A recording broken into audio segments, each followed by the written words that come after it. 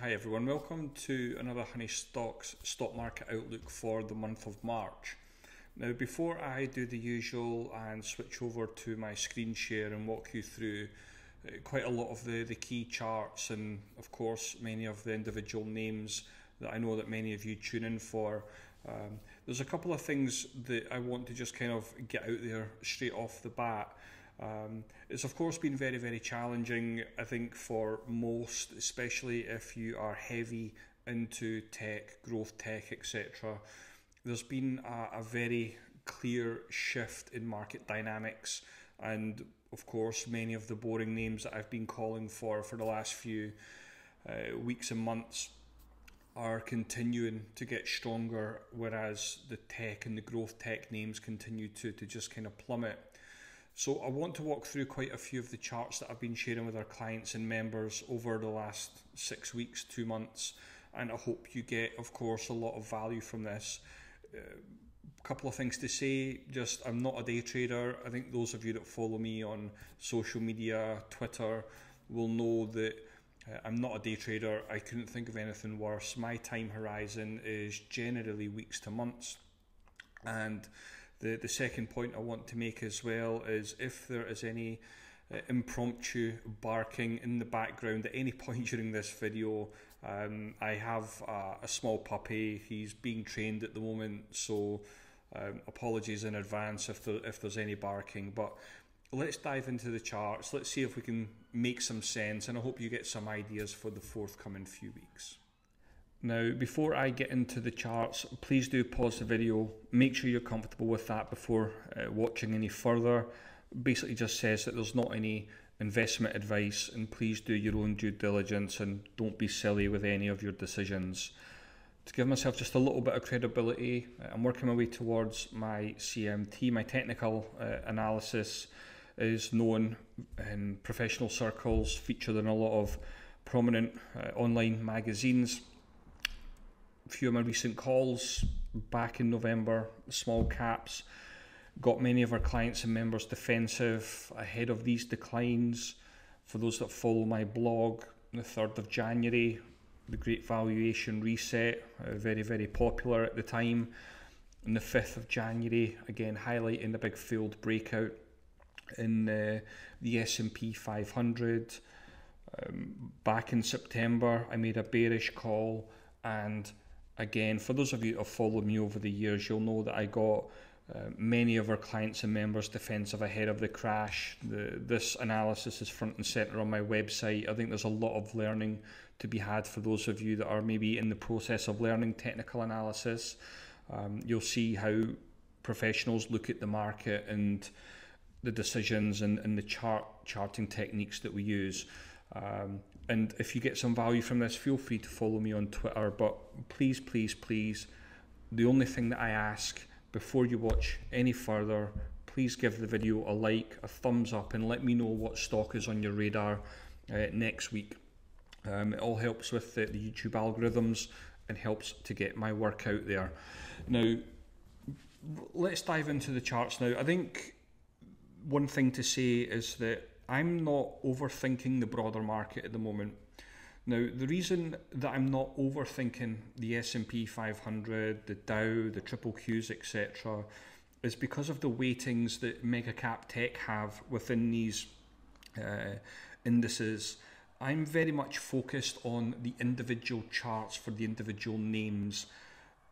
I think most of you probably understand that you know, we're looking at names in the commodity space. Those are the names that have been moving, whereas the, the likes of Apple, Amazon, etc., have struggled somewhat. So that weighs on the major averages.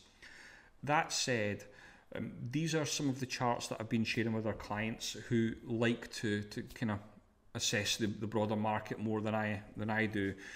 We've got key support levels uh, in the S&P 500 now when I'm looking for potential tradable bottoms one of the things I look for is a bullish divergence. So there is a bullish divergence with the S&P 500 at the moment.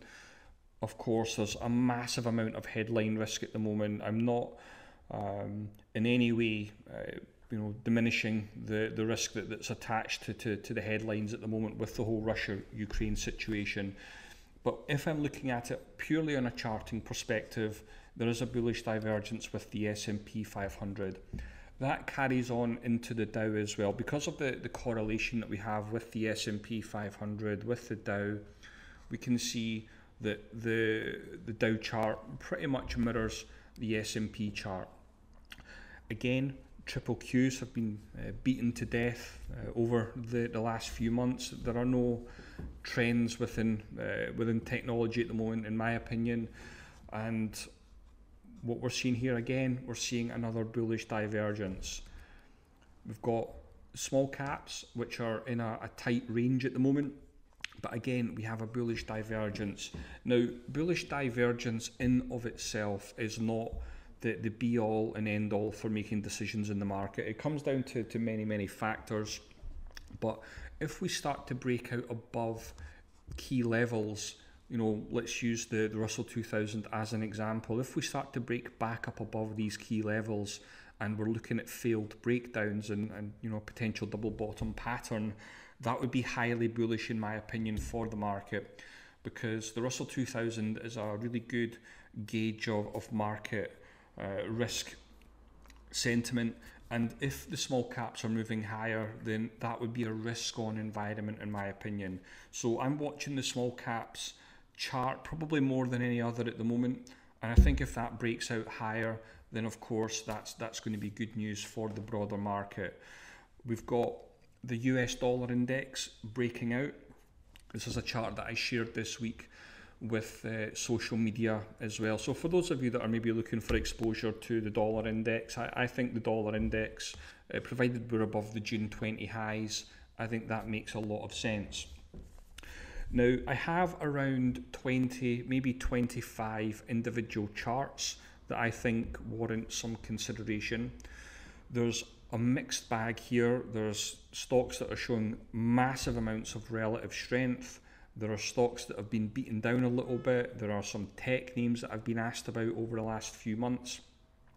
So I've kind of just put everything together, and of course, I have my own unique brand of technical analysis, so it should be very, very easy for you to understand, especially if you are new to my work.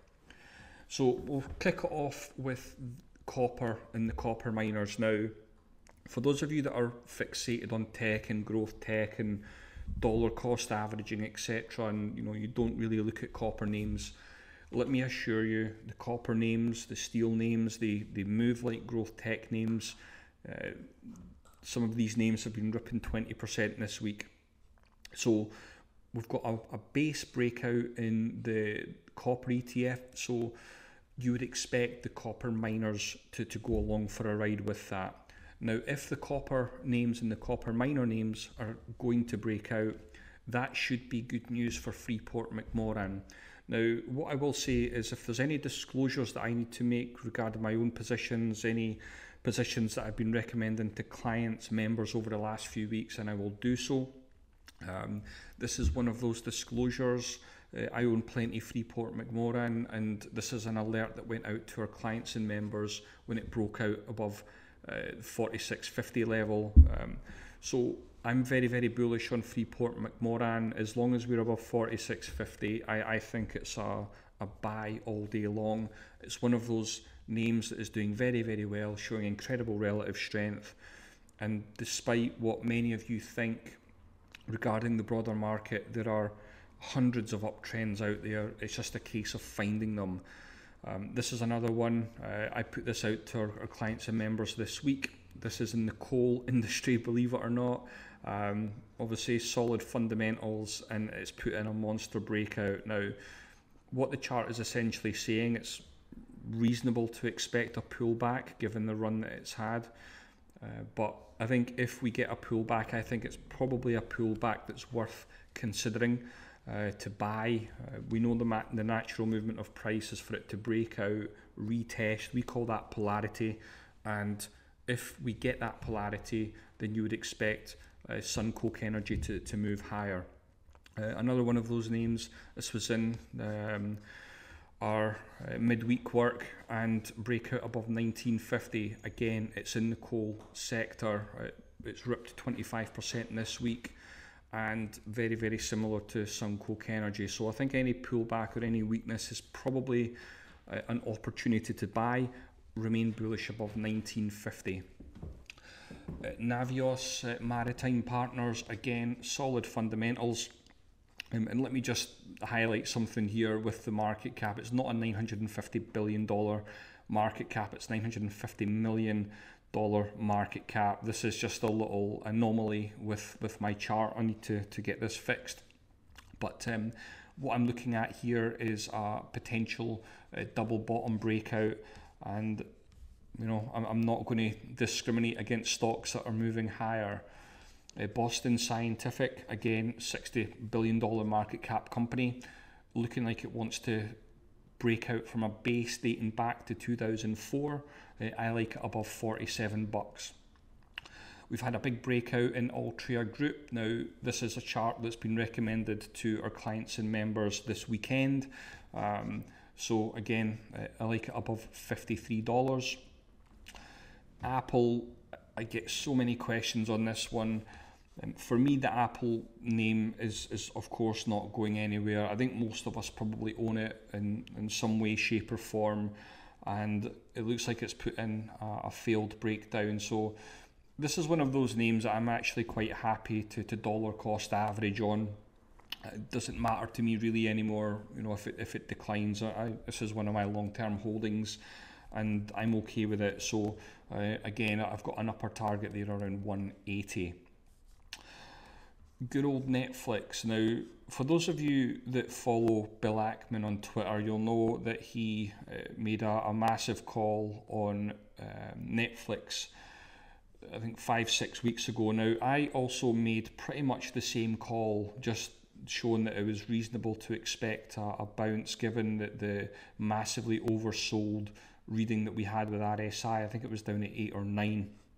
And of course, we, we got a monster rip um, on the back of that. And it would be very, very interesting to me to see whether or not Bill Ackman still holds his Netflix shares or, or whether he did as usual and pumped it on social media before selling off. But I have what looks to be a very solid looking trend line in Netflix. Now, the, the problem I have here is if Netflix does start to decline below these uh, significant levels, then it could equal a little bit more pain ahead. I think fundamentally it's obviously Netflix, it's a solid company, but it does look like it's it's showing a lot of weakness at the moment. You, you can, in my opinion, still remain bullish on the stock above these levels, but if it starts to break down, for me, that's a problem. Bullish divergence, in uh, Microsoft pretty much mirrors the, the triple Q chart. So again, I think Microsoft is one of those names that, that I'm quite happy to dollar cost on. Um, solid uh, multi-line insurance company.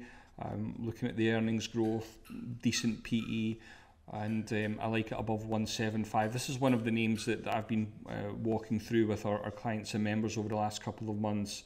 Um, I've applied a, a, trailing stop loss to it and you know see how far it wants to go. Nvidia, again, 50 week uh, simple moving average looks to be a, a, key level for the stock.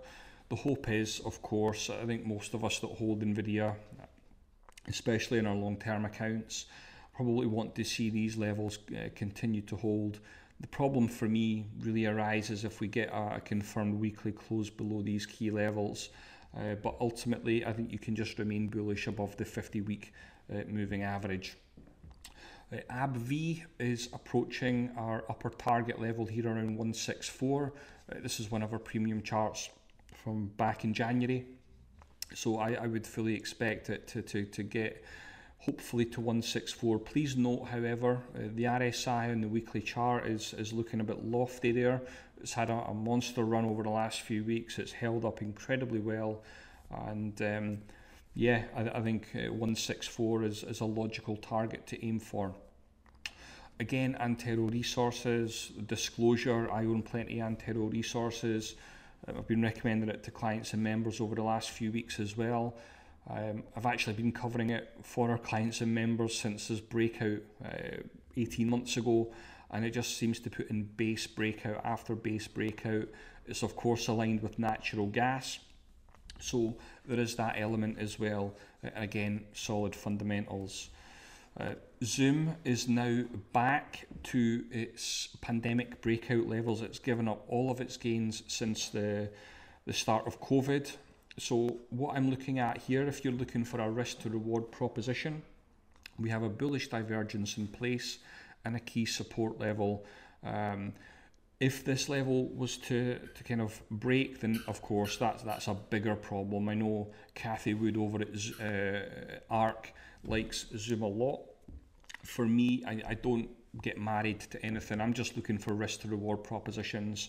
Um, so if Zoom is going to rebound, this would be a level that it would probably need to happen, and um, that's where I am with Zoom at the moment.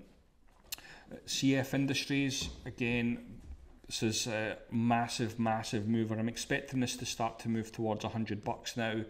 Uh, again, I've been covering this one for clients and members over the last few months, and it's doing very, very well. Um, of course, in inverse head and shoulders breakouts tend to be pretty decent. Uh, we have, of course, PayPal. I get asked about PayPal all the time. Um, I made bearish calls on PayPal over the last few months, and it looks to be breaking down uh, below more key support levels. I don't know when the pain will end with PayPal. It's one of those areas that, that's being disrupted, I think, by the Bitcoin Lightning Network. I, have touched on this one for months now, and um, yeah, it's it's not doing very very well, and it looks to be breaking more key support levels. We've got, of course, Meta, Facebook, whatever you want to call it. Now, let me just get it out there off the bat that I am uh, an investor, holder, bag holder in, in Meta at the moment.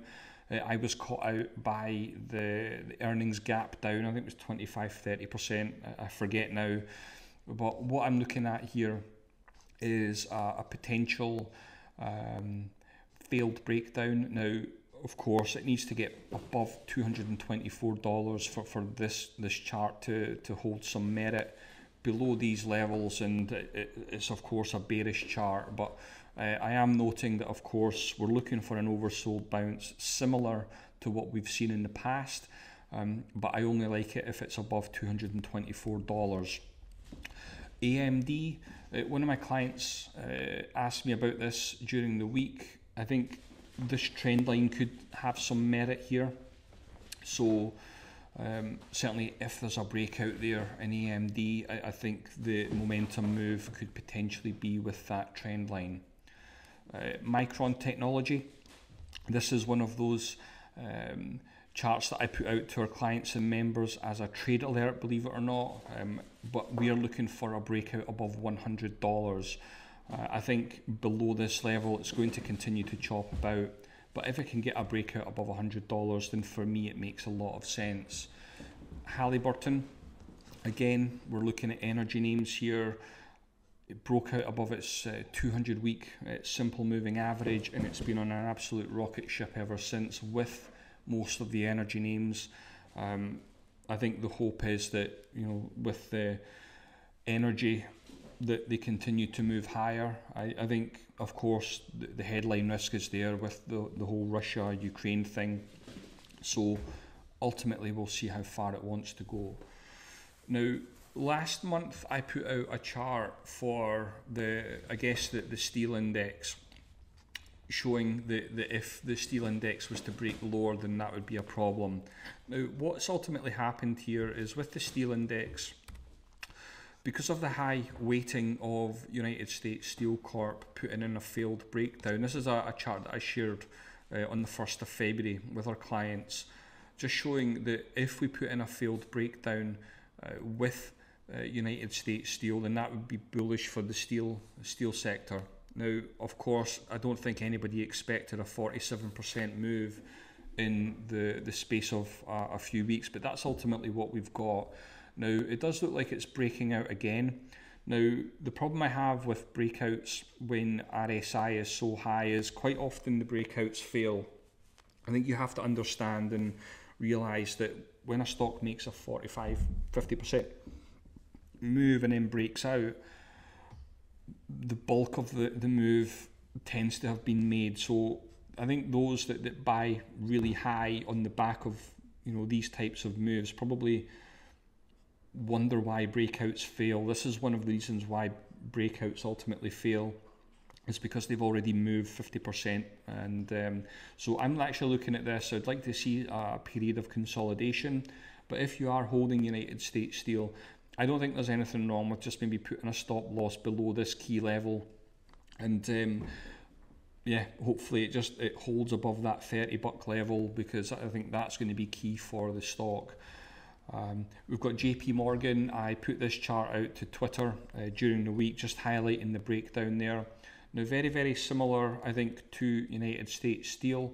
Rather than go out and outright, you know, take a bearish position in JP Morgan, I like to look for these failed breakdowns because I think they hold a lot of merit and ultimately we can get these uh, big moves higher. Uh, so I think that's something I'm looking for there with JP Morgan. SoFi put out some uh, good earnings, but this 50 uh, day simple moving average is a problem for the stock. I think the chart can can demonstrate that, but there is a bullish divergence in place.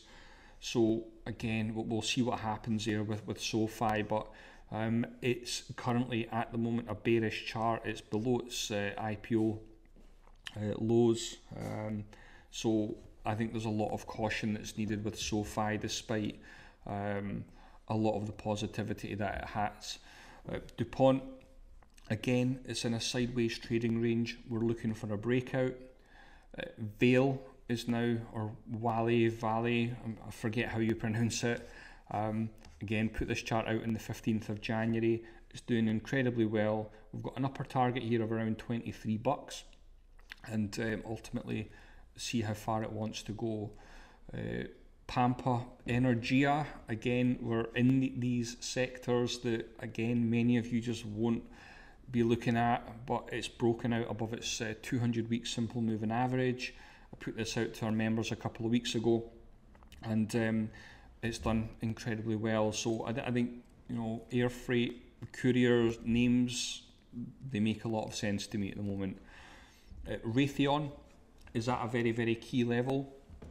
I think um, it has broken out, but I think something I want to just maybe say with the, with names that are you know aligned with aerospace, defence, etc. Is you know what what does it look like when we start to see words like ceasefire, um, and certainly for me, I actually put this out to our clients last week as a potential buy uh, before backtracking on it uh, during the week. And I think if it puts in a failed breakout here, then that, that could potentially be a problem. But if it puts in a retest, you know, a very successful retest here and starts to move higher next week, then I think Raytheon will be a buy. But again, don't be surprised if it's a sell if it starts to break down. It's one of those charts where you know the, the technical analysis on it can change on 30 seconds notice. Um, that's just the nature of you know market analysis, your your thesis. As soon as price tells you, we'll, we'll switch in a second, and, and that's ultimately where I am with Raytheon. Uh, ADM, uh, again, agricultural uh, commodities name, doing incredibly, incredibly well. And we've got XME. Now, I think what I want to say with this one, because I posted this chart to Twitter as well, um, couple of weeks ago, we're looking at a massively uh, overbought market here, so it's reasonable to expect a pullback with the, the metals and mining names. And um, ultimately, we'll, we'll, see what happens next week. But I think those that have invested in uh, the the ETF and, and certainly the names that are aligned with it have done very, very well over the last few weeks. Congratulations. So, I hope you have had quite a lot of value from the analysis that I've just walked through. Um, if you're somebody that I guess struggles a little bit and you know maybe been under a lot of stress over the last few weeks, feel free to, to stick around for a minute or two. Uh, but if you got some value from that, please, like I said before, please just give the video a like and let me know what stock is on your radar. Um, like I said, it all helps with the, the YouTube uh, algorithms.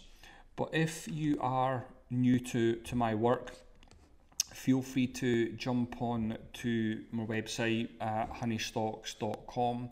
Uh, I provide uh, technical analysis, uh, research, and we obviously have uh, a membership. Now, what our membership provides is our premium weekend analysis. Every single weekend, we put out a, a five ten minute analysis with all the, the, the, the key charts and, of course, the names that I like for the forthcoming week. Provide uh, trade ideas. I'll show you what that looks like in a second provide our midweek halftime analysis every single Wednesday, again with a market update and a few names that I think again warrant some consideration. Uh, provide access to uh, an incredible trading community. Uh, I provide charting support Monday to Friday during market hours. So if you need to request a chart from me, um, I generally will get a chart back to you within an hour or two and also provide access to a technical analysis program, which I'll show you what that looks like uh, in just a second. Uh, but this is what my platform looks like. I use Workplace. So if you uh, want to work through uh, technical analysis program, it's all there for you. But I have a very new feature to my work. It's called the chart book. Um, so if you want access to my sector and market uh, charts at any time, um, you can just log in to Workplace and you can load up my uh, personal chart book for all the individual sectors and of course you can go back and have a look at the recent weekend and, and midweek halftime analysis. I've got around 250 members on my platform and it's just an incredible place um, to communicate, share ideas, and of course, uh, charts. But just to show you what my uh, trade alerts look like, this is a, an alert that went out last year for Lithium Americas, which did very, very well. Cloudflare was 100 odd percent massive winner. Square Inc at the time uh, did very, very well. Zscaler, incredible move. Antero Resources, which I touched on on this analysis, I think, um, like I said, I've been covering this one for, for the last 18 months and it's been massive. Plug Power um, was massive at the time, 300, 400% moves, but I'm very, very unique in what I do. Every single high conviction alert that I have ever sent out to our clients and members is logged for complete transparency on my website. Um, 2021, 2020, 2019 so if you are considering signing up for my service, please go and have a look and make sure the, the stocks that I like to recommend are the types of names that you like to buy. I'm not into penny stocks. I'm, I'm looking at high quality names with decent fundamentals and of course, you know, if, if growth is there and growth is, is making a comeback, then of course I'll pivot back into growth tech. But I guess at the moment that's not the place to be. So a lot of my uh, work has been focused on a lot of the boring industrial names, the coal names, the energy names that have been ripping recently, and um, I think my work is probably a good fit. If if you've got a mid-term approach, you know maybe you're looking weeks to months out. Maybe you're looking to get away from day trading. Maybe you want to learn technical analysis maybe you just don't have the time to, to look at the market in the, the same way that us professionals do and you know scan the market and, and look at as many charts you probably find some value from my work especially if you're sick of hunting around social media every weekend for um, the, the latest ideas so feel free to go and check that out but you know testimonials are um, part and parcel I think some massive, massive moves. This is one of our options traders. He's turned 55k into 650 since March 2020. Sean, again, he's had uh, a lot of value from my service. Look forward to many more years as a member. Uh, Nick, I'll be a member for life. Rocco, guidance made the year. Vince, again, up over 100% two years running lot, there's lots there's lots there. I mean, I, I could go on forever about it. most of my clients and members have been with me for the last three, four years, and like I said, it's a really cool community. So if you've stuck around to the end, thank you very much for watching. Please go check out the website, but don't forget to hit the, the like button. Appreciate it very much. Thanks as always.